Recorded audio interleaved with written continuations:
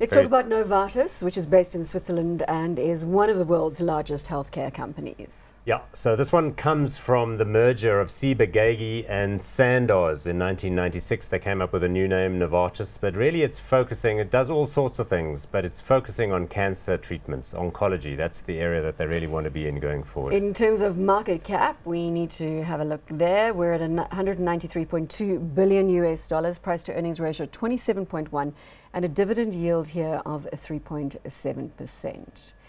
Can you go wrong with Novartis? Well, I think, you know, when we just look at what, what's been happening earnings-wise with Novartis, they've had some competition for their two sort of big big drivers. They've had, or for their, some of their biggest drugs. Um, they've also had, sort of, you know, a lot of money that they had to invest and spend in Alcon um, the, the, the, the optical um, side of the business.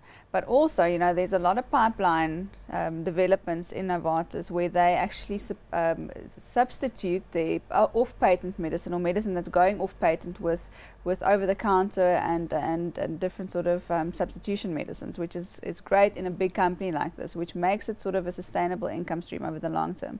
Like I said, a little bit of headwinds. They also have the currency risk due to the fact that we see them, you know, they're Swiss, Swiss based and they, the majority of their sales still in the US. So um, little concerns, but I think over the long term, this is a company that you can hold with quite um, quite Paul, are you results. or your clients invested? No, we're not. The reason we talked about it is that it's probably the second largest by market cap. I'm not sure about that. Probably Pfizer, Merck, Glaxo in that category. Johnson Johnson is larger.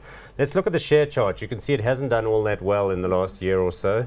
It sort of sagged and went sideways, and it's partly earnings related and partly some concerns about some of their blockbuster new stuff coming through.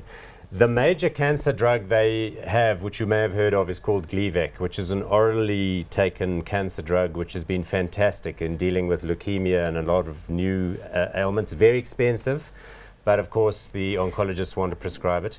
Then it's got this portfolio of other stuff like Lamisil, which you take for athlete's foot. You know, that's been around a while.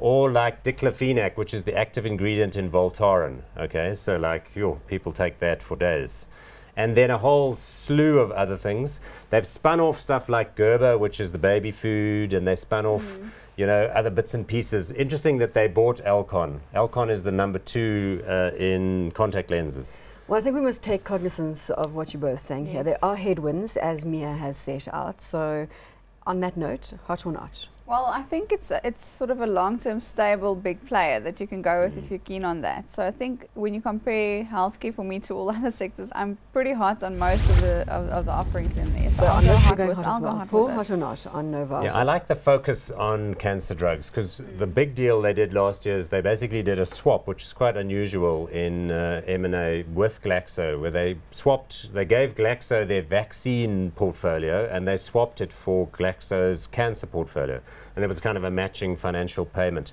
So Glaxo then gets to focus on vaccines globally, which you know sounds all good and well. But the Nova, Novartis, Novartis underpin is cancer, cancer, cancer And I think you know cancer because you understand what's going on here. People are not dying of heart disease. They're not dying of um, you know mental problems related to suicides. They're not dying of all sorts of lifestyle diseases they used to die of.